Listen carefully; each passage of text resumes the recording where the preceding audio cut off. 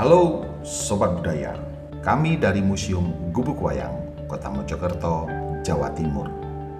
Hari ini kita akan mengenal topeng Majapahit. Topeng Majapahit adalah karya pengembangan Panji yang berisikan tokoh-tokoh pada masa kerajaan Majapahit.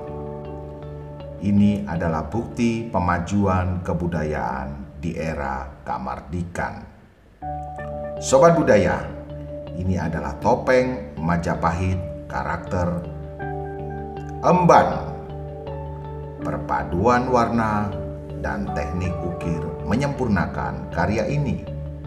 Mari kita lestarikan budaya Majapahit dan Panji karya anak bangsa Indonesia. Salam budaya menyatukan bangsa.